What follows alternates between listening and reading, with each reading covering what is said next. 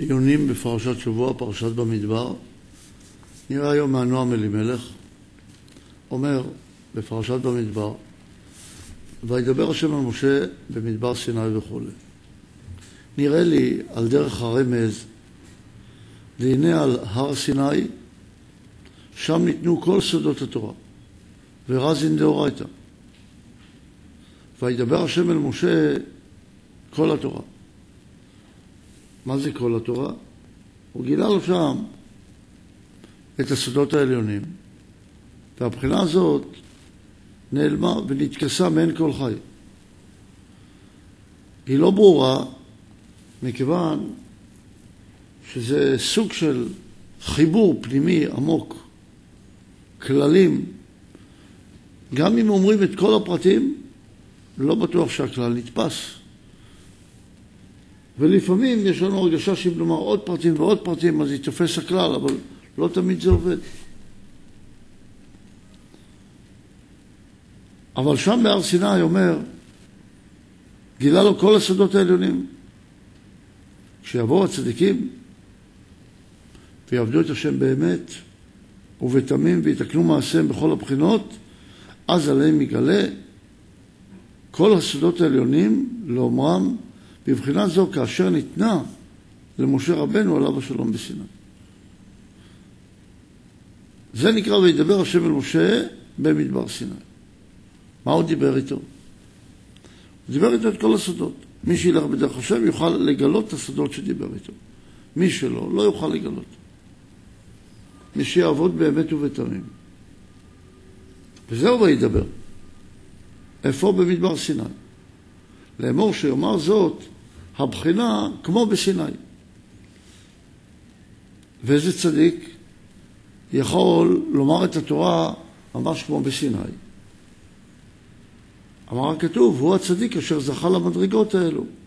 דהיינו באוהל מועד. אוהל רמז ליראה.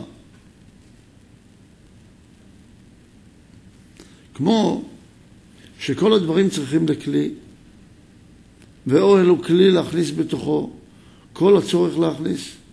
כן, כל התורה והמצווה צריך להכניס שם לתוך הכלי. היא העירה. ומועד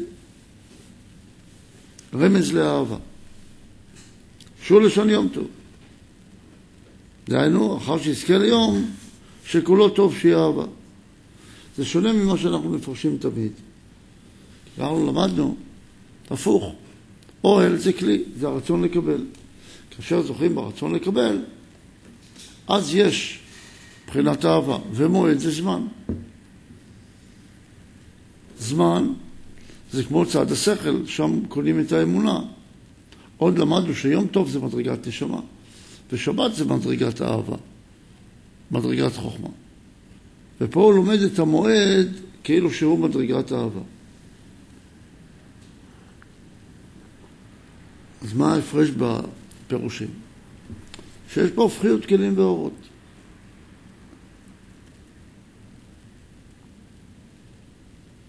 דהיינו, כאשר יש אור שנקרא אוהל, אבל הוא ניתן במועד, אז זה כמו אור של גוף שניתן בראש, אור של נשמה שניתן בראש ולא, עדיין לא אור חוכמה. אז לזה הוא קורא אוהל, מצד האורות. אנחנו דיברנו מצד הכלים. אבל בכל אופן, מראה לנו שיש פה שתי מדרגות. אוהל מועד, שזה מדרגות של יראה ואהבה. עד לפה הסביר לנו מה זה וידבר השם אל משה במדבר סיני באוהל מועד. אז מה זה וידבר במדבר סיני? זאת אומרת שנתן סודות גדולות במדבר סיני, ואם אדם יגיע על ידי עבודה תמימה באמת ובתמים, ואדם יתקן מעשיו ויכין כלי ראוי, יוכל לקבל את אותם סודות עליונים שהיו בהר סיני. מה זה באוהל מועד? ביראה ואהבה. שיקבל את זה בכלי הזה שנקרא יראה ואהבה. שזה הכלי המוכשר לתת את המקום לקבל את האור. באחד לחודש השני, זה המשך הפסוק, רמז למדרגה שלישית. שיזכה לבוא לאחדות, שמייחד נשמתו בהקדוש ברוך הוא. היינו עולם התיקון הנקרא בספרים מה החדש. דהיינו יוכל לעלות, לעלות עצמו לעולם אצילות, שהוא נקרא מה החדש. למה הוא נקרא חדש? כי המה הראשון שיצא זה עולם הנקודים, שהוא נקרא מה, אחר כך הוא נקרא בן, בגלל השבירה שהייתה שם, ובן זה לשון נקבה, שהופכת להיות כל עולם השבירה נקבה לעולם התיקון, לעולם החדש, שנקרא בחינת מה. ואשר אין עבודתו שלמה, כי אם בפניות שלא לשם שמיים, אז מעשיו הולכים לעולם החרובין, שהוא בחינת בן, ששם נחרבו העולמות. מי שיכול לאכול חרובים ולשתות מים חיים כמו רבי שמעון בר יוחאי, הוא זה שמתקן את עולם החרובים. לאכול מאכל נקרא גימטריה אמן, וכאשר אוכלים באים לתקן את הבחינות שעליו מצביע המאכל. דיני השם יתברך ברוך הוא, בנה עולמות והחריבן. ואחר כך ברא עולם התיקון. ונמצא עולם התיקון הוא חידוש העולם שנית. וזהו באחד לחודש השני. מה זה באחד? באחדות. מה זה לחודש השני? שהוא מתקן את עולם התיקון. אני נקרא לחודש השני. הוא, מת, הוא מתקן, לא את עולם התיקון, הוא מתקן את עולם החרובים על ידי עולם התיקון. אז באחד באחדות, מתקן, בכל החודש השני, לתקן את עולם החרובים על ידי עולם הצילות שהוא נקרא כמו החודש השני. בשנה השנית, רמז שנה, העולם הזה נקרא שנה. עולם הבא נקרא חודש, או שבת, עולם שכולו שבת. חודש זה עניין של חידוש, כמו יש מאין, אמונה. והשנה זה דבר ששונה על עצמו. זה מבחינת דין. אומר בספר היצירה, שלושה שמות יש לעולם. עולם, שנה, נפש. רוצה לומר שם, בספר היצירה, בשלושה ממדים אנחנו תופסים את המציאות, את הבריאה. עולם זה המקום, שנה זה הזמן, ונפש זה האדם התופס, או הכלי שתופס את הבחינות הללו. וכל ענייני עולם הזה הם ענייני גשמיות. והצדיק המתקן מעשיו בענייני גשמיות עולם הזה, נמצא שנותיו הם שנה. שניים, וזהו שנה השנית. זאת אומרת, אין לו שנה רגילה, זה שנה השנייה. מה זה השנה השנייה? המציאות שמעבר לעולם. דהיינו שהוא במדרגה שנה השנית. מפרש הכתוב, מהם השנה השניות? דהיינו לצאתם מארץ מצרים, רוצה לומר בצאתם מהגשמיות והארציות אל הקדושה האמיתית. זה נקרא בצאתם ממצרים.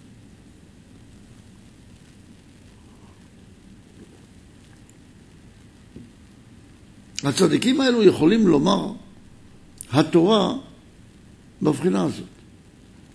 וזהו נקרא לאמור.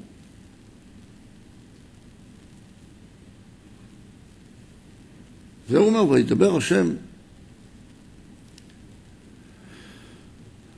אל משה במדבר סיני באוהל מועד באחד לחודש השני בשנה השנית. לאמור. מה זה לאמור?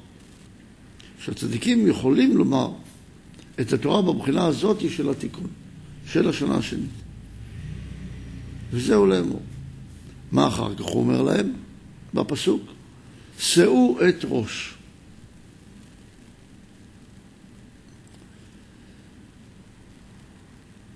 אז צריך לתת טעם של שבח למניין.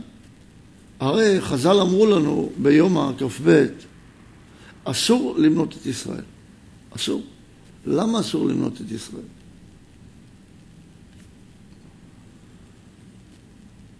מכיוון שכאשר סופרים, רואים כל אחד כפרט שעומד בפני עצמו. וכשרואים כל פרט שעומד בפני עצמו, זה עולם הפירוד, ועם ישראל הם עם אחדותי. לכן תמיד כשמונים אותם צריכים למנות אותם אגב הכלל. ראש אין לו פרטיות, לגוף יש פרטיות. לכן רוצים למנות אותם אגב הראש. אז הוא צריך לתת שבח. לא יכול להיות שהוא יגיד למנות את ישראל, דהיינו לראות אותם כפרטים פרטים, שכל פרט עומד בפני עצמו. כי זה כל הקלקול שיכול להיות. זה לא כמו אומות העולם, שהזין תחתונות, במקום שיהיה גוי אחד בארץ, נהיו שבעים אומות. שם עולם הפירוט שולט. כך גם בנפשו של האדם, שיש לו הרבה רצונות, והוא חושב שכל רצון עומד בפני עצמו, אז זה עולם הפירוד. כאשר הוא מבין שהרצונות הללו באים ליחד, וכל הרצונות האלה הם באים למקור אחד, אז הרצונות האלה הם רצונות אמיתיים. אז על זה הוא אמר לנו באחד, באחדות.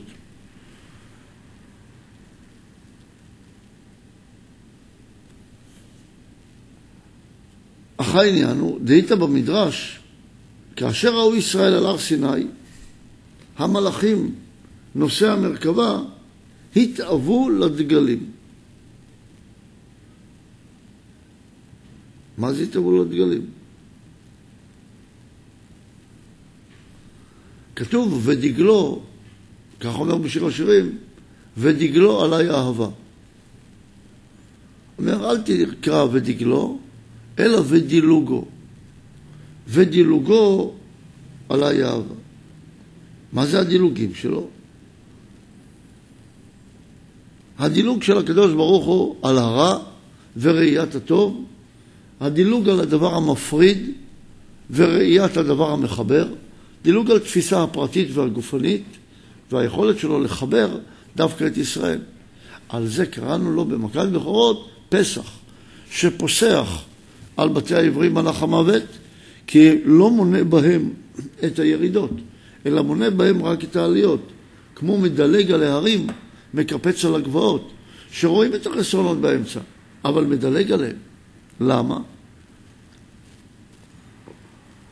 כפי אדם הרוקד, וקופץ ויורד וקופץ ויורד, ומחשיב את מצב שהוא למעלה.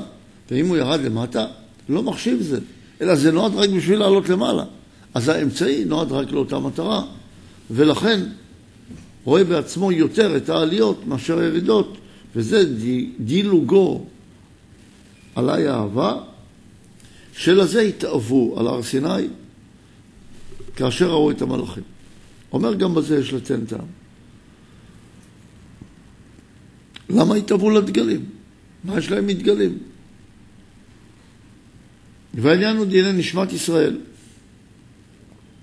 הם למעלה מן המלאכים ומן חיות הקודש.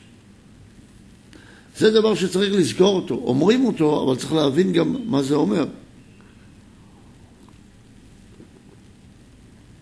באופן הפשוט, אפשר לראות את זה בצורה גשמית, שאם אנחנו אומרים שיש כוחות בעולם, נאמר, אומרים לנו נץ, הראייה שלו היא ראייה חדה, הוא יכול לראות ממרחק עצום את הטרף שלו, והראייה שלנו היא הרבה פחות ממנו. אבל, היות ויש בנו כוח, שכלי, מעבר לנץ, אנחנו יכולים להמציא משקפת, או טלסקופ, או מיקרוסקופ אלקטרוני, שאנחנו רואים מה שהנץ לא יכול לראות. וגם יש לנו ברדלס מהיר מאוד בריצתו. אנחנו יכולים לעשות מכונית שהיא הרבה יותר מהירה ממנו. אנחנו יכולים לעשות מטוס כמו ציפור. אז לכאורה אנחנו יכולים להתגבר על כל הכוחות, כי יש לנו בחירה. אנחנו יותר ממלאכים, מלאך זה כוח. הכוח יכול לעשות רק מה שהוא יכול לעשות.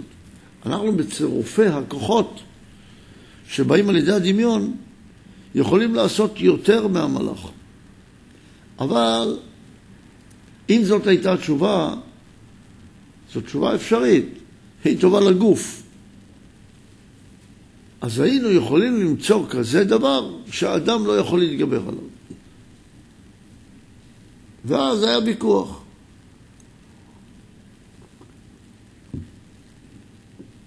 לכן אנחנו רוצים לומר תשובה אחרת. במה אדם יותר גדול ממלאך? בכך שיש לו בחירה. ולמלאך אין בחירה. זה הכוח שלו. לא הכוח השכלי שיכול להתגבר על הכוחות של מלאך. יביאו מלאך יותר גדול. לכן התשובה הזאת היא, שהיא תשובה גשמית, לא בגללה אדם גדול ממלאך.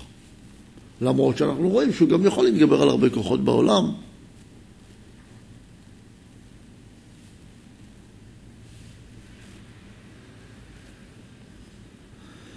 אז במה הוא גדול? בכוח הבחירה שלו. וכוח הבחירה מאפשר לו להיות כמו בורא, להמציא חידוש בנשמתו, להיות בעל אמונה. לא טכני, בעל אמונה. וכל העולם הוא כיסא לעולם שהוא למעלה ממנו. דהיינו, הארבעה יסודות של החיות קודש הם מרכבה לארבע אותיות השם הקדוש, ברוך הוא. והמלאכים הם, הם המרכבה לעולם שלמעלה מהם. בני ישראל ידעו שנשמותיהם הם המרכבה וכיסא לעולמות העליונים, שהם למעלה מחיות הקודש, ולא הבינו שגם הגוף של האדם, דהיינו הרצון לקבל, שהוא בחינת מלכות, בחינת ד', צורך בו לקשר עולמות התחתונים. כי לא ידעו שיש בהם, שיש בידם שיהיו מרכבה לעולמות התחתונים גם כן, לקשרם וליחדם עם עולמות העליונים באחדות אחד. ואחרי שראו את המלאכים עם הדגלים, אז ראו והבינו שיש לעולמות התחתונים כוח להיות מרכבה לעולמות העליונים כמו המלאכים, שהם מרכבה לעולם שלמעלה ממנו. לכן התאהבו תאווה, שגם גופם שלהם, דהיינו הרצונות לקבל המלכות, שהיא מבחינה ד', ששמו אותה בצד, כי הרי כשעבדו את השם עבדו רק עם רפ"ח ניצוצים בהתחלה, אדם הראשון עבד. ואז חשב שכל מה שהוא צריך לתקן זה רק את חטא אדם הראשון. ואז הם עומדים במעמד הר סיני. וחטא אדם הראשון נגמר. בילה המוות לנצח. כל חטא הנחש תוקן. אבל עדיין לא נגמר התיקון. אלא יש עוד משהו לתקן, מעבר לאדם הראשון. כי הוא נולד רק עם רפ"ח ניצוצין, צריך לתקן גם את לב האבן. והם אומרים, גם גופם, גם את הרצון הפרטי הזה, שיהיה מרכבה בכיסא לקשר העולמות. לכן התאהבו לדגלים. כמו המלאכים, בדגליהם.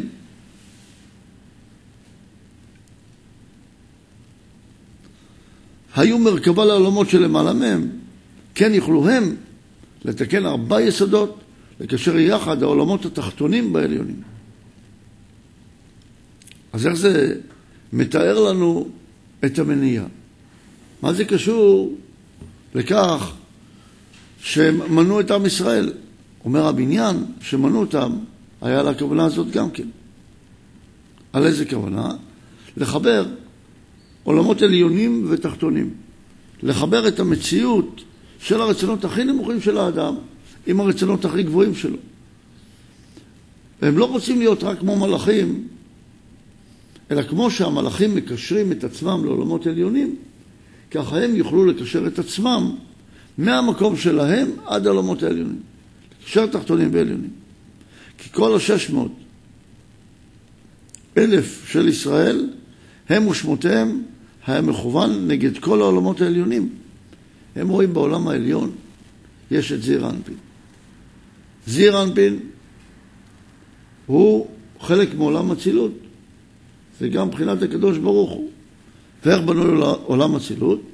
יש את בריח התיכון, ערך אנפין, עליו מלבישים אבא ואימא, לאחר מכן יש סוט, זעיר אנפין ונוקבה. וכל אחד מההלבשות שמלבישים, הם באים לגלות משהו. עם ישראל בא ואומר, אני רוצה לגלות את בחינת השש ביחס לעשרת אלפים.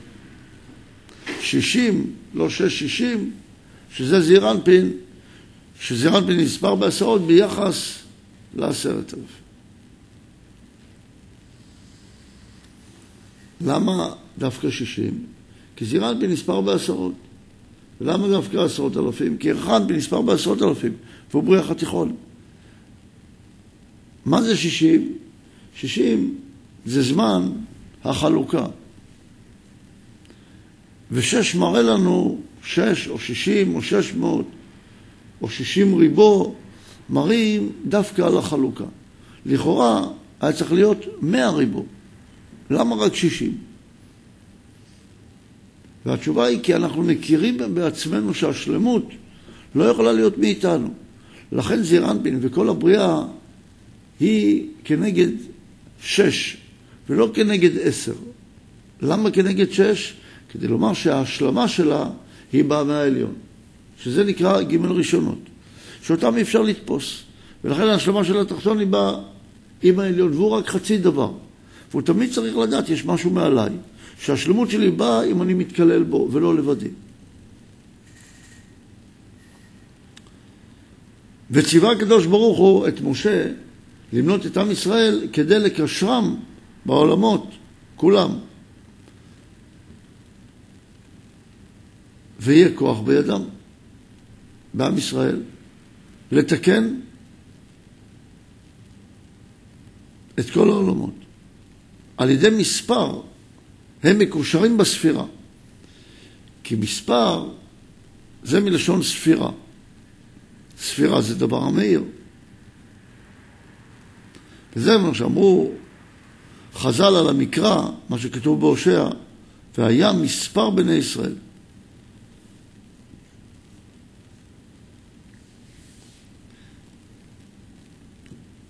ודמי ורם מקרא הדדי, הם דומים זה לזה. מתחילה אמר והיה מספר, ולבסוף מסיים אשר לא עימד. הוא מתרץ. כאן, בעושים רצונו של מקום, ולפי דעתי, יהיה הפירוש כך, כך אומר הנועם אלימלך.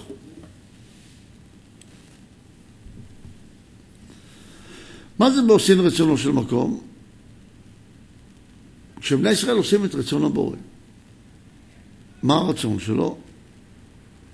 שמעוררים רחמים על ידי מעשיהם הטובים. אז יהיה להם מספר, אז הם יהיו ספירה, אז הם יהיו דבר המהיר. שהסיפור של קדושה הוא טוב כנ"ל, שעל ידי הספירה הם מקושרים בספירות העליונות, באורות העליונים. אבל כשלא עושים רצונו, אז אסור למנות אותם. לומר כך, כשכל אחד ואחד מהם פועל למען הכלל, שהעולמות העליונים מייצגים את הכלל, אז נכון למנות אותם, מה כל אחד עושה. אבל כשכל אחד פועל רק לעצמו, אז כשמונים אותם, ראובן, שמעון ולוי ויהודה, אז כל אחד עומד בנפרד. אז זה רע לישראל כשמונים אותם, כי הם מראים את הפירוד ביניהם. אבל כשמונים אותם, אגב, הספירה, אגב, הקשר לעולמות עליונים, אז המניעה היא טובה מאוד. אם יש לאדם הרבה פרטים, כתוב ברוב עם הדרת מלך. עוד יותר מזה, בעל הסולם אומר, ככל שיש יותר פרטים, ככה הכלל הוא יותר רוחני. ועל זה גם התפללנו שם, וגם שם הסברנו אותו דבר בפרי חכם. איך יכול להיות? הרי הרבה פרטים, לכאורה הסינים יש להם הרבה פרטים, אז הם כלל יותר גדול מישראל שהם מועטים. אומר, יש הבדל. יכולים להיות הרבה פרטים, אבל הם לא קשורים לכלל אחד. אז זה דווקא מפריע לי שיש הרבה פרטים. זה כמו שאדם קורא משהו, הוא רואה המון פרטים, אבל הוא לא יודע לקשר את זה לרעיון. אז זה מפריע לו, זה מרדים אותו, זה מסית אותו, הוא לא יכול לתפוס מה קורה. זה כמו שנותנים לבני אדם ללמוד מתמטיקה, שהם לא רואים שזה קשורים לאיזשהו רעיון של החיים שלהם. אז זה משגע אותם, בשביל כל כך הרבה מספרים. ולעומת זאת בסיפור, או בסיפורת, או בתנ"ך, או באזרחות, הם לומדים מצוין. למה? כי הם לא רואים את הקשר לכלל. יש אנשים שכשמראים להם הרבה פרטים, הם מתבלבלים. תנסו, תיקחו קופסת קיסמים מעץ, תסתכלו, קיסמי עצים חודים, תסתכלו עליהם, תנסו להתמקד בפרטים, תראו שהראש מתבלבל. ממש אתה מקבל כאב ראש. למה? כי בלבול נובע מהרבה פרטים בלי כלל. ככה גם החיים שלנו נמצאים באדרלמוסיה גמורה. כשאתה כל רגע רוצה משהו אחר, זה קשור לכלל של החיים שלך. עכשיו אני רוצה לעשות ספורט, ועכשיו אני רוצה גם לישון, ועכשיו אני רוצה גם לאכול. ואני רוצה להיות בריא, אבל אני גם רוצה לאכול הרבה, אבל אני רוצה גם להיות בריא. אני רוצה לעשן, אבל אני לא רוצה לעשן. אני רוצה לשתות, אבל אני גם לא רוצה להיות בחוסר מודעות. איך אני מחבר את כל הרצונות? רק אם יש לי רצון מרכזי אחד, שכל הרצונות כפופים אליו. אם לא, אני מפוזר. וזה אחד הדברים החזקים, שכשבא המן למלך, ישנו עם אחד. מצד אחד הם אומרים שהם עם אחד, אז הוא, אבל הוא מפורד ומפורז בין העמים. ואת דתי המלך אינו שומר. אדם שכל רגע רוצה משהו אחר ולא יודע לקשר את הרצונות שלו לדבר המרכזי, הוא בן אדם שאי אפשר לסמוך עליו. למה? כי פועל לדרכי הגוף. הגוף הוא מפריד. האם הגוף נתון לנשמה? האם כשאני מונה, כשאנחנו מונים את ישראל, אנחנו מונים אותם אגב הכלל או לא? זה נקודה מאוד מרכזית בנפש האדם. זה נקודה מאוד מרכזית איך הוא חי.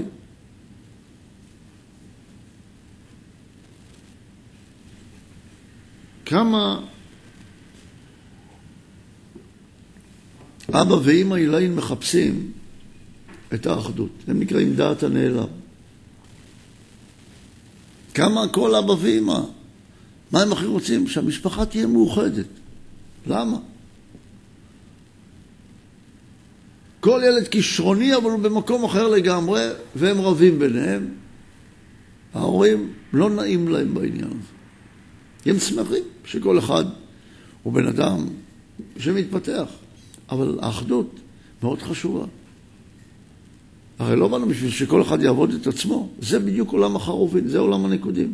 שכל אחד בא ואמר, אני אמלוך והייתה שבירה. אומר, מונים אותם, חייב להיות. אגב, הקשר לעולמות העליונים הרוחניים. איך זה קשור לרוחניות שלך? מה שאתה רוצה עכשיו לעשות את הפעולה הזאת. אם זה לא קשור, זה יגרום לך לפירוד נפשי בתוכך.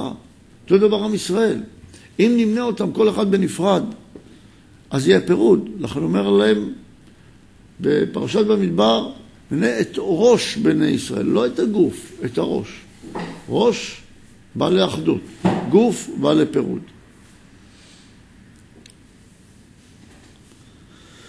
אומר רש"י, מתוך חיבתן מנען. מתוך זה שהוא מחבב את עם ישראל הוא מונה אותם. ולכאורה הוא ההפך, שהרי אסור למנות. אם אתה כל כך אוהב אותם, למה אתה סופר אותם? אבל מתוך דברינו יבואר גם כן דברי רש"י ועולים כהוגן. מתוך חיבתן שהיו צדיקים גמורים מנעם, כדי לקשרם. ויש לומר באופן אחר, ונושא אחד. הנה כתוב בתורה, כי אתם המעט מכל העמים. חס ושלום, שלא יהיה המעט בטל ברוב. כי אם אנחנו עם ישראל מעט, ויש לנו כלל, מה הכלל אומר? שקטן מתבטל בפני גדול. אז אם ישראל הם מעט, הם יכולים להתבטל בין כל אומות העולם. לכן היה צריך לעשות משהו כדי להבדיל את עם ישראל מאומות העולם. כיצד? אתם תהיו נמנים לבד, כדבר נבדל מאומות העולם.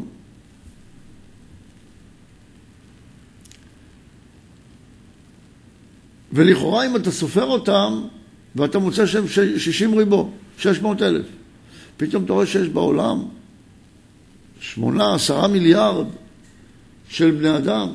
עכשיו ספרת את עם ישראל, נגיד, יש 7 מיליון. אז זה בטל ברוב. ופתאום אנחנו רואים שהרוב לא קובע.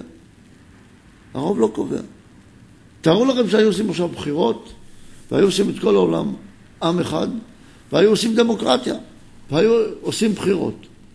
ואז כל העולם היה בוחר מי היה נבחר לראש כל האנושות, אולי איזה סיני, אולי הודי, אולי עושים קואליציה, הסינים וההודים.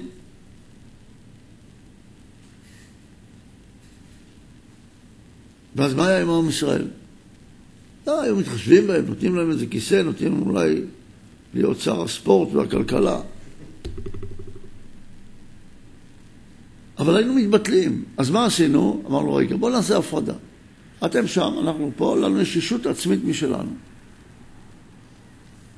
כי לכאורה אם מונים אותם ורואים את מספרם הקטן ביחס לעולם, אז הם צריכים להיות בטלים בעולם. אבל הוא אומר, כשישראל הם טובים וצדיקים, ורואים שהם פועלים למען האחדות שביניהם, אז השישים ריבות דווקא מראה את הגדולה שלהם.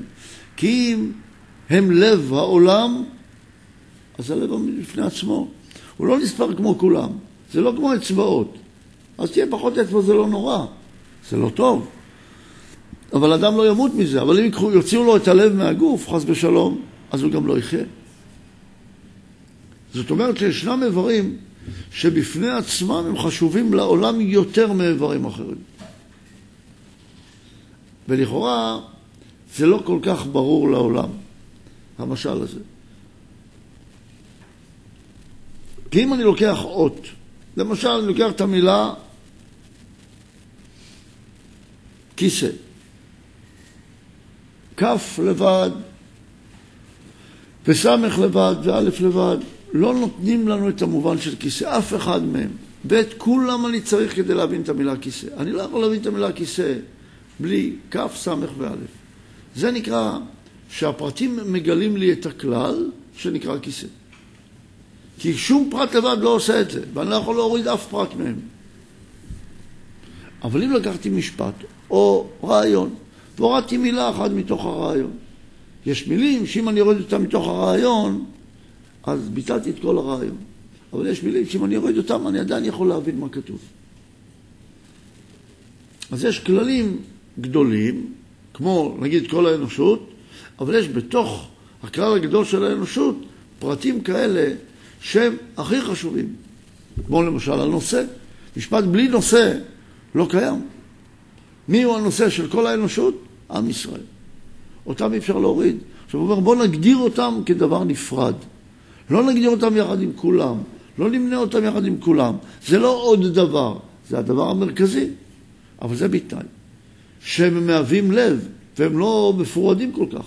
שהם לא לב, אבל הם מתנהגים כמו גוף, כמו... לא כהשלכה של המוח. לכן אומר, כשישראל טובים ועושים רצונו יתברך, אין מזיק להם המניין. וממילא מצווה למנותם כדי לקשרם בהספירות כנ"ל. והוא, כשעושים רצונו, והם דבוקים בהבורא יתברך שמו. ובשולחן ערוך פסקינן, ביורד דעה סימן צדי ב', סעיף ד', כך אומר שם, בהגה, בדבר, בדבר הדבוק צריך הביטול כנגד כל הדבוק. שאנו דבוקים בו יתברך, שמו, אינם יכולים לבטל אותנו. זאת אומרת, אנחנו מקושרים לכלל אחר לגמרי, שלא קשור אליכם. אז אתם לא יכולים לבטל את הדיבוק שלנו, כי אם אני רוצה לבטל משהו דבוק, אני צריך להוציא ולהתגבר על אותו דבר שבו נדבקת.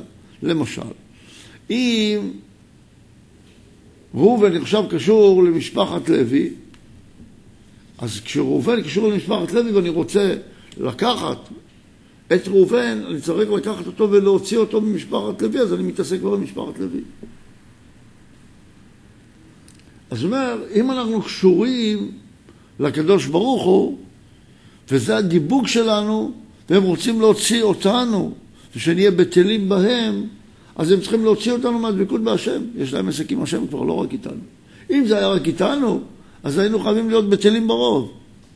אבל אם יש להם עסק עם השם יתברך, אז הם לא יכולים לבטל אותנו. אבל זה בתנאי שנהיה דבוקים בהשם יתברך. לכן אין לנו על מי לסמוך, אלא על אבינו שבשמיים. על הדבקות בו. לא על זה שנהיה הרבה, ואם נהיה הרבה, אז נוכל לנצח. לא אם נהיה חזקים בגוף, לא אם יהיה לנו כוחות חיצוניים, כי הערבים יכולים רק ללכת, ללכת, כמה מיליונים יש להם, ויגמרו את ארץ ישראל חס ושלום.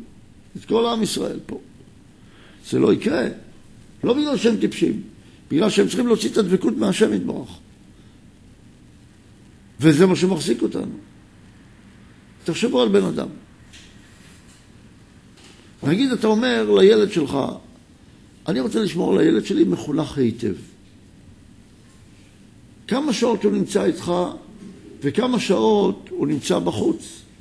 הוא הולך לבית הספר, הוא נמצא נגיד שש שעות, שבע שעות בבית הספר, ואחר כך הוא הולך לשחק עם חברים, והוא הולך לחוגים, וכמה זמן אתה כבר רואה אותו בבית. לפעמים יש הורים שרואים שעה ביום את הילדים שלהם, ארבע שעות ביום, אחר כך הולכים לישון הילדים, קמים בבוקר, רצים בבוקר, קח את הסנדוויץ', אל תשכח את הארטיק, הולך לגן, הולך לבית הספר. מתי אתה רואה אותו? אבל אם הילד דבוק בך וקיבל חינוך בבית והחינוך מחזיק אותו, אז בחוץ, כדי, כדי שהוא ייגרר אחרי אחרים, הוא צריך להוציא ממנו את הדיבוק של אותו חינוך, אבל בתנאי שהוא ילד טוב ודבוק בחינוך הזה של הבית. אז דברים בחוץ לא ישפיעו עליו. אבל אם הוא לא דבוק בחינוך של הבית, אז דברים בחוץ ישפיעו עליו. כמה אתה יכול להילחם במי הוא ייפגש בחוץ? ותחשוב עכשיו עליך בתור בן אדם. הרי אתה נפגש באין סוף דברים מחוץ לך. כל יום אתה יכול להיפגש במשהו אחר. האם אתה יכול לרפא את עצמך מפני הפגישות שלך מהמציאות? מחר יכול לבוא מישהו שהוא רמאי גדול, ואיתו אתה עושה קשר, והוא מנסה לפגוע בך. אתה נוסע ברחוב ויכול מישהו לנסוע בצורה פראית, וזה לא דבר שתלוי בך. ויכולים לקרות עוד הרבה מאוד דברים, יכולים לקרות גם דברים גשמיים שלא תלויים בך. מחר אם תהיה, אם יש הוריקן באיזה מקום, באוקיינוס האטלנטי, ויש שם אנשים, מה הם יעשו? מה, הם יכולים לעצור את ההוריקן? יוצא שאם אתה תהיה קשור לחינוך הפנימי שלך, אז הדברים מבחוץ לא יוכלו להשפיע עליך, כי הם יצטרכו להוציא אותך מהדיווק הפנימי הזה שלך. לכן הקשר הפנימי הזה, החזק, הוא הכוח האמיתי. כך אומר לעם ישראל. אם הם צדיקים, אני מונה אותם בקשר שלהם לעולמות העליונים ולקדוש ברוך הוא. משם יצטרכו להוציא אותם. זה לא יעזור לכל אומות העולם. שלא יהיו עשרה מיליארד, שיהיו מאה מיליארד. אם יש לך דיווג בהשם, ודאי שהוא גדול מכולם. זה כמו שהילד, יש לו רק שני הורים. יש לו מאות חברים שהוא נפגש איתם. למה הם לא, למה הם לא מסיתים אותו? כי הוא דבוק בהוריו. ואם אדם דבוק בהשם יתברך, שום דבר לא יכול להסיט אותו. אם הוא דבוק ברעיון, באידאה, היא אחת. ויש לו הרבה אתגרים, הרבה גירויים מסביב, והם לא מסיתים אותו. שואל למה? כי הוא דבוק מאוד חזק באידאה שלו. לכן הדיווק הזה, יש לו ערך גדול מאוד, והוא חייב להיות פנימי. ואם הוא פנימי אתה יכול להתגבר, אם הוא לא פנימי אתה לא יכול להתגבר. זה הוא אומר.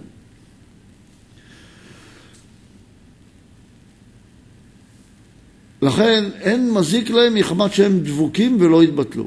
אבל כשהם עושים רצונו, אז חס ושלום מזיק להם המניין. ומה אומרים על הילד? הוא נגרר. למה הוא נגרר? למה הבניין לא נגרר? כי הוא צמוד חזק לאדמה, יש לו מקור חזק שהוא דבוק אליו. למה האוטו נגרר? כי הוא גלגלים, אין לו צימוד חזק. וזהו שפירש רש"י מתוך חיבתן מנען, כי הם דבוקים בו יתברך, והם חביבין, חביבין אליו למנותם, כדי לקרבם אליו, יתברך שמו ויתעלה. משמע שהוא אומר, למנות, כמו שכתוב, בגמרא זה דבר רע מאוד.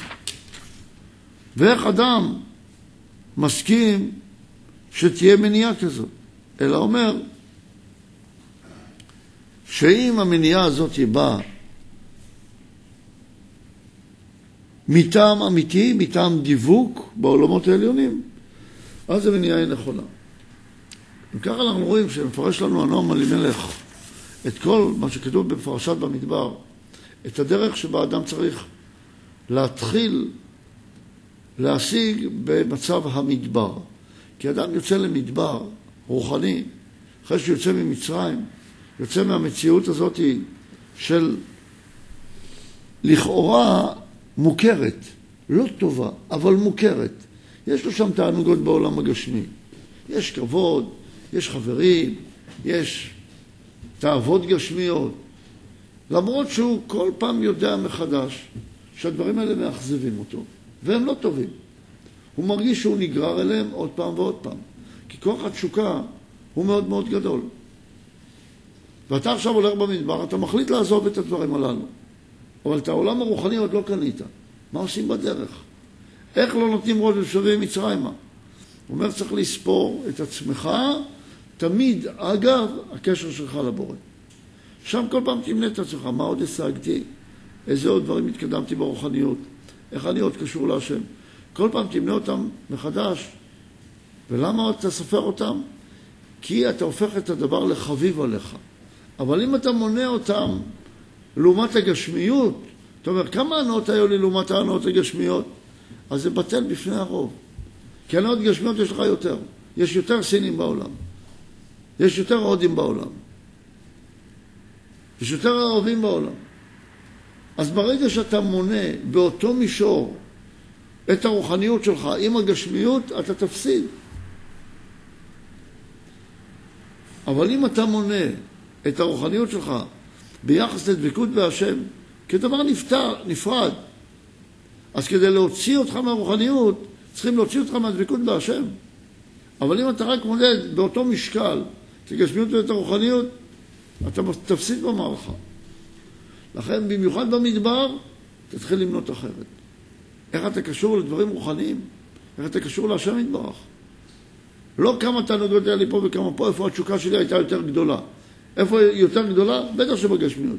אם ייתנו לך עכשיו דבר גשמי, ייתנו לך 50 אלף שקל בבוקר, לפנות בוקר, אתה תאחר? אתה לא תאחר כל יום, גם ייתנו לך 100 אלף שקל, גם אם ייתנו לך 5,000 שקל לבוא בבוקר, אתה תגיע.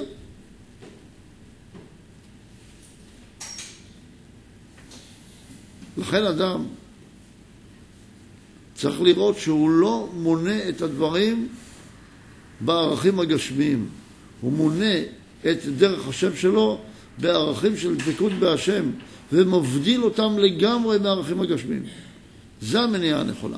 אחרת, בכלל לא טוב לעשות חשבון כזה. ברגע שאתה מתחיל לעשות חשבון כזה, אומר אסור למנות, אלא תלך, אני הולך, לא מעניין אותי מספר, לא מעניין אותי חשבון. ואתה צודק, כי אתה מתחיל לעשות חשבון בתוך הדעת, אתה נופל. אז מה, לא לעשות חשבון? אומר לך, כן, אל תעשה חשבון. אז איך מונה פה במדבר? פה החשבון הוא אחר. אם אתה רוצה לעשות חשבון, זה מצוין, אבל חשבון נפרד. זה בכלל לא באותם ערכים. תעשה חשבון כמה אני דבוק בהשם, כמה התקדמתי, כמה פעלתי אהבת חברים. לא ביחס לגשמיות, אלא ביחס להתקדמות הרוחנית שלך. זה אתה יכול למנות, את הדבקות שלך בהשם. זה מותר למנות, להפך, זה מחזק, זה עושה את זה חביב עליך. ולכן כל אחד יראה איך הוא עושה את החשבונות שלו. שלא יעשה חשבון כמה אני נהנה עכשיו מזה שפעם הייתי הולך לסרטים, הולך לים, נוסע בשבת, הולך לטיולים, לעומת כמה נהניתי עכשיו כשבאתי לשיעור. אסור לעשות השוואות כאלה. זה חשבון לא נכון. מה החשבון הנכון? חשבון נפרד. שם אני הפסקתי לעשות חשבונות. פה אני עושה רק חשבון כמה אני ביחס לדבקות בהשם. ואז זה עוד יותר מדביק אותי להשם, כי אני רוצה להתקדם. זה נקרא ברוב העם הדרת מלך. טוב, עד כאן היום.